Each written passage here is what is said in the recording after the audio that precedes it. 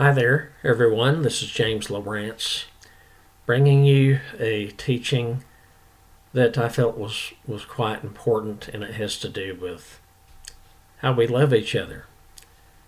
And uh, I'm talking specifically about people within God's church. We're supposed to love people outside of God's church as well. And we need to not forget that. Your neighbor is anyone, it's anyone that you come across. Okay, so we're supposed to love our neighbor, neighbors as we would love ourselves. And so, therefore, it's not just talking about the love of fellow Christians one toward another. Although, certainly, certainly that is what it's talking about too. But in the USA and people in other countries as well, we're witnessing the attitudes of people having changed drastically over about the past three decades or so. This is especially true of the last decade to date. And uh, I've said this before, but I've heard radio show hosts going back more than 30 years talking about this on many occasions. They talk about people having bad attitudes and they're getting worse with each passing year, going back at least 30 years, as I said before.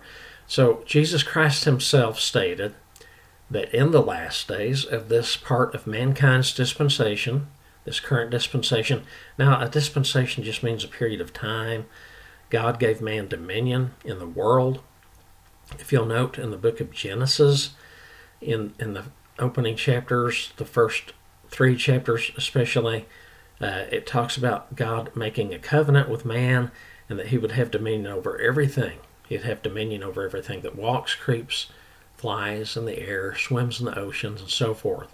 Well, we're also, well, in a sense, if I can say this without it coming out wrong, we have dominion over each other. Of course, parents over their children, but there's more than that. We are to be our brother's keeper. Okay, that's what it means to love your neighbor as you would love yourself. Are they hungry? If you're hungry, would you feed yourself? Yes. So would you feed them? Okay, that's kind of the way uh, it is looked at in the Holy Scriptures. We we have to take care of others as we would our own bodies. So yes, we have dominion in the world over everything, including each other. You know, Cain said to God, thinking he would show him up. Uh, and, and catch God in his own words, and he said, Am I to be my brother's keeper? He had just killed Abel. Cain killed Abel, and he was hiding the fact that he killed Abel, and he thought he would throw God off a little when God said, Where's your brother Abel? I, I don't know from where he's gone, uh, from whence he's gone, or however it's, but, but he said, uh, Am I to be my brother's keeper? Yes, yes. And so God knew the answer, but he didn't correct Cain over that. And he knew that Cain had killed Abel. God knows all things. But he wanted to see if, if uh, Cain would fess up to having done this. But the point being in my saying that, that yes, we are our brother's keeper, and God intended it, intended it to be that way. Okay, so Jesus did say that the uh, the state in these last days of, of that part of man uh, that causes him love toward one another, it would become more and more diminished. And Jesus said it's because iniquity shall abound. The love of many shall wax cold. That's in Matthew 24 12. So it's like a wax candle. It's lit for a while, and then it's blown out after it's not needed. You know, maybe the people are going to, to bed, but they were eating dinner before they had some candles lit. And uh, so they blew them out, and the candles have liquefied or soft around the edges wax that hardens. And Jesus was comparing man's love for each other as a candle that hardens. So he was giving us a, a picture of this end times event of man having less and less love for each other in his Olivet Discourse, as it's called, Matthew chapter 24. how love would diminish among fellow mankind, demonstrating that the past love mankind had for each other was, was diminishing. With each passing year, we're seeing this.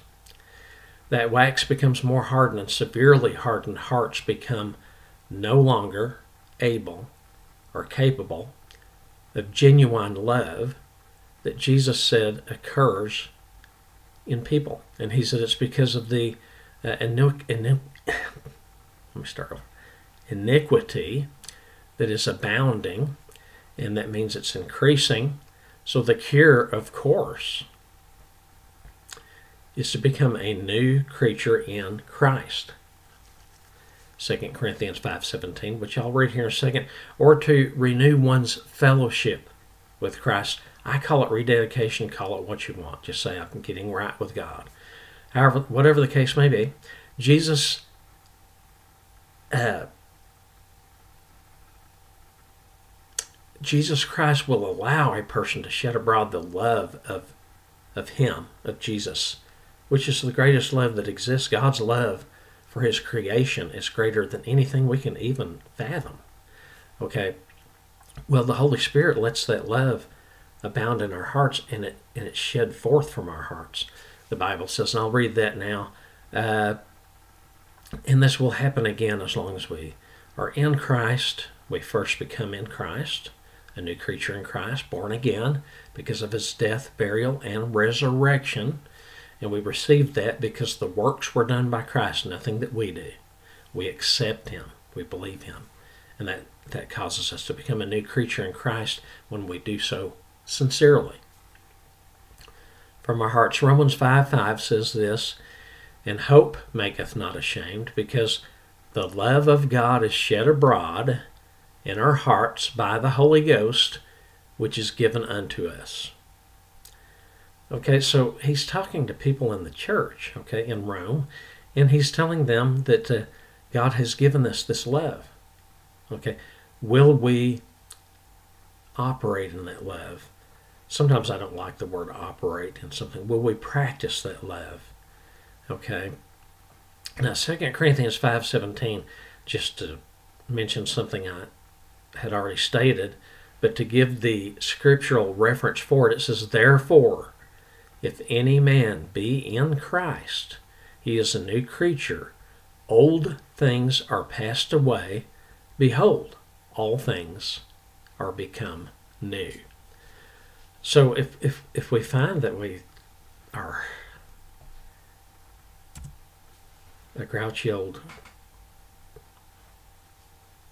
belly buster person, why do we want to be that way?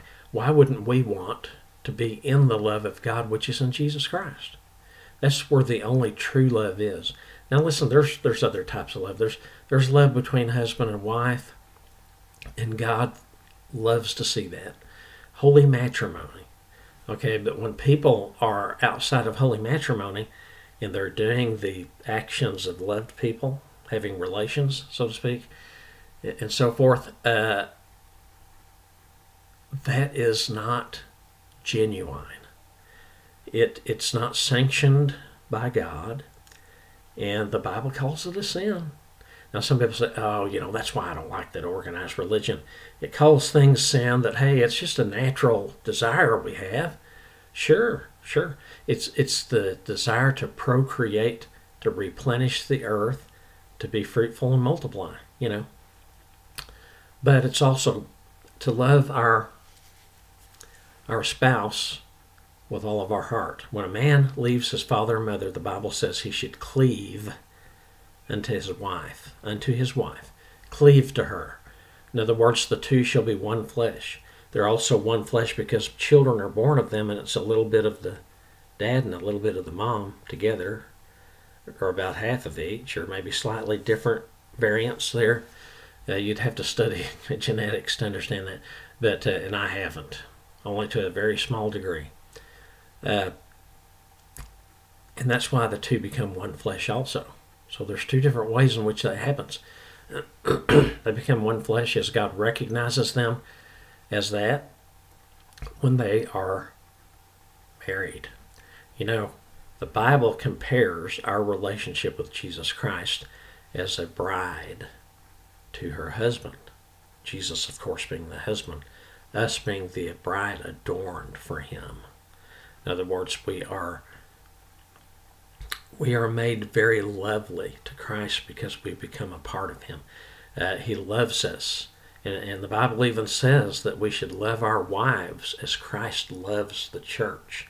Now, I don't know how you could ever get a better comparison than that because I've heard people say, no, the, the church is never referred to as the bride of Christ. Well, then why are these types of comparisons made?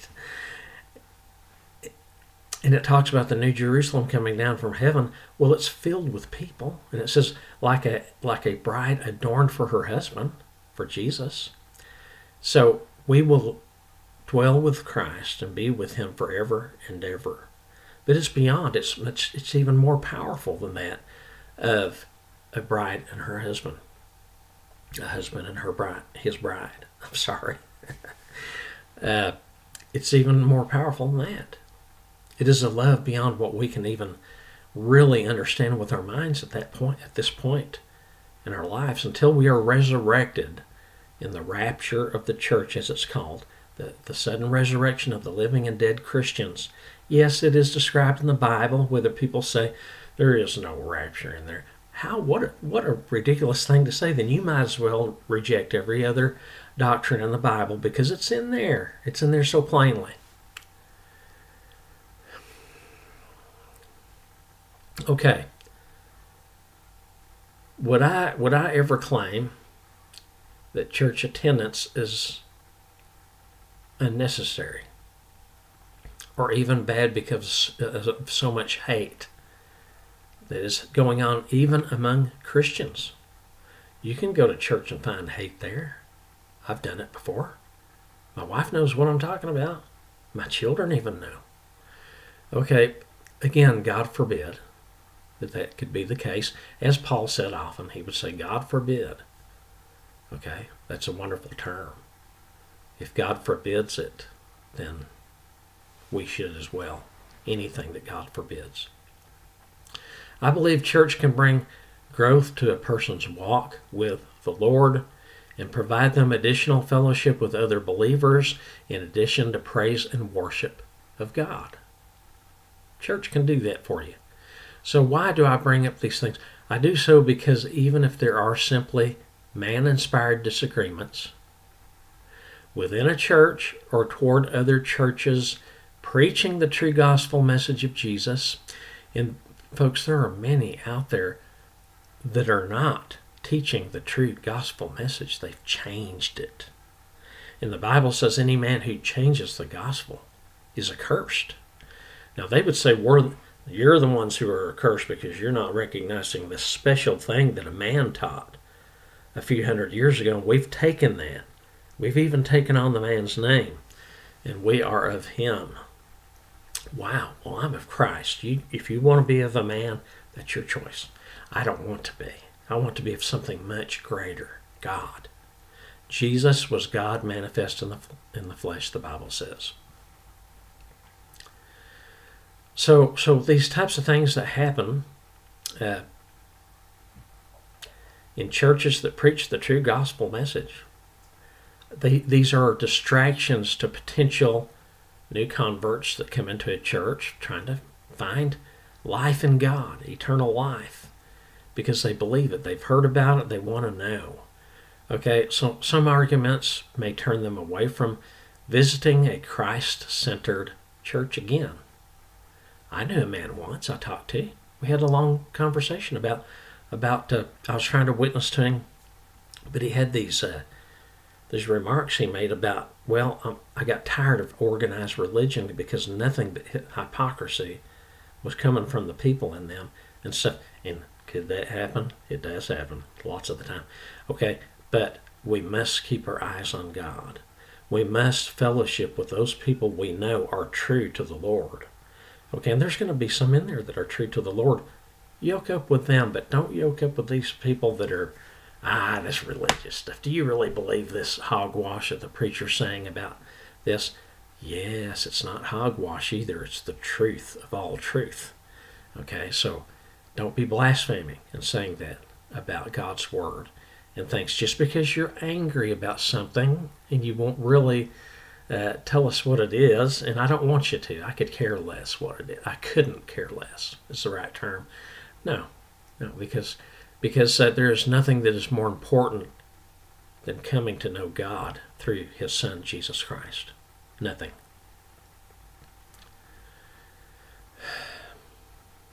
So, so people who come to church come for the intention of connecting with the Lord Jesus Christ for the first time, or for oh, their ongoing relationship with Him, growth as a born again believer in God's Son Jesus Christ. Praise God.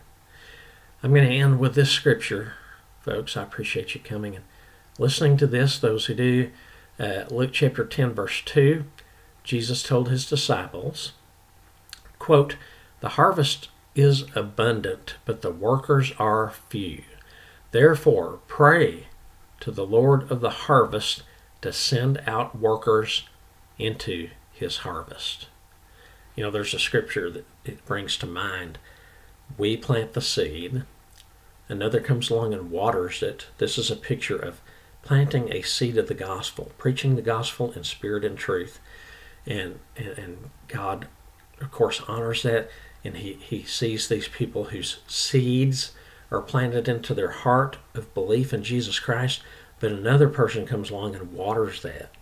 So they may have a belief, but they haven't come to the altar either literally or figuratively, an altar in their home, in their closet, on their bed, just leaning across their table. Jesus, I love you. I want you to be my Lord. I've learned about you, and I think you are magnificent. Please be my Lord and Savior. Those are my words. You can use yours, and, and God will honor them if you're sincere in your heart. Of course, He will. Okay, so he said, but the, the workers are few. So this watering happens because other people working in God's harvest come along. Preachers of the gospel, teachers of the gospel. And they water that seed, but God gives the increase. In other words, it's God who causes that seed to come to fruition to where a person has a relationship with Him through His Son, Jesus Christ. And they're sealed into the body of Christ by the Holy Ghost. The Bible says that. And it is nothing we do. Jesus did all the work. We receive it. We believe it. And belief is receiving, especially when you confess to the Lord, I love you and I want you to be my Lord forever. Hallelujah. Praise God. Okay, so God gives the increase. He is the one that causes the seed to grow and to come to fruition all the way through. See, praise God. Thank you for listening to me. I'm so appreciative. I will talk to you again soon. This is James Lowrance saying goodbye for now.